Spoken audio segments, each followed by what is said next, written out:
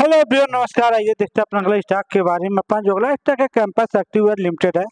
Campus activewear की बात करो तो बीते शुक्रवार को आठ रुपये सत्तर पैसे बढ़त के साथ तीन सौ तेईस रुपये अस्सी पैसे पे क्लोजिंग दिया है। इसके पहले भी इसकी एनालिसिस हो चुकी है और इसी का ये सपोर्ट लाइन ड्रा किया गया है। देखा सपोर्ट एरिया यहीं पर ड्रा किया गया और यहीं से रिवर्सल लिया, क्योंकि यहाँ पे हैमर कैंडल बनाया था और यहाँ से रिवर्सल लिया। देखा तो एक मूव यहाँ पे मिल चुका है। दो सौ अस्सी से लेकर तीन सौ चालीस के करीब में आपको मूव मिला, साठ पॉइंट का मूव मिला है। तो ये प्रॉफिट बुकिंग हुआ। अभी ये जो कैंडल बना रहा है ये कैंडल खतरनाक हो सकता है। क्यों? क्योंकि बायर यहाँ तक ले कर गए तो बट सेलर एक्टिव होके नीचे की तरफ़ ला दिए। बट आपको करना क्या है? करना ये है, थोड़ा सा मैं छोटा करता हूँ इसको। यहाँ पे ये जो एरिया है, ये इसके लिए बहुत तगड़े अब सपोर्ट की तरफ़ वर्क करने लगे हैं। क्योंकि यहाँ तो आप बैक चलते हैं।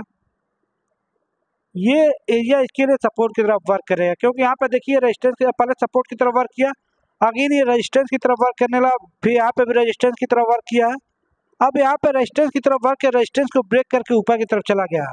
साइकोलॉजी समझिए, जैसे इसके ऊपर गया है जितने सेलर थे निकल गए बट यहाँ पे जैसे सेलर इसके नीचे आते हैं, इसके नीचे कोई डेली कैंडल क्लोज करता है, इस कैंडल के नीचे, फिर सेलर बहुत तेज एक्टिव हो जाएँगे, और जो भी यहाँ पे बाई किए होंगे वो अपना एसल लेंगे और प्रॉफिट बुकिंग करें जैसे इस कैंडल के नीचे आता है, बहुत तेज़ी से नीचे की तरफ़ आएगा अगर इस कैंडल के नीचे नहीं डेली कैंडल क्लोज नहीं करता, एक दो दिन इसके ऊपर ही क्लोज करता है तो ऊपर जाने की इससे संभावना बढ़ जाएगी।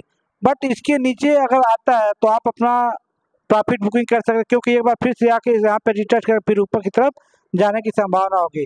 बट जब तक इसके नीचे डेली कैंडल क्लोज नहीं करता है, तब तक आप इसमें बने रह सकते हैं। तो इस पर नज़र बना रखिए। अच्छा खासा प्रॉफिट देने वाला है। मिलता अगले वीडियो में। प्लीज़ चैनल सब्सक्राइब कर दे। धन्यवाद।